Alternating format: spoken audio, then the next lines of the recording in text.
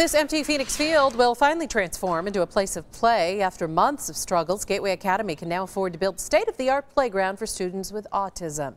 Late last year, an investor pledged the $68,000 needed, but backed out after the school bought all the equipment. Gateway now hopes to have everything built by next week. Get ready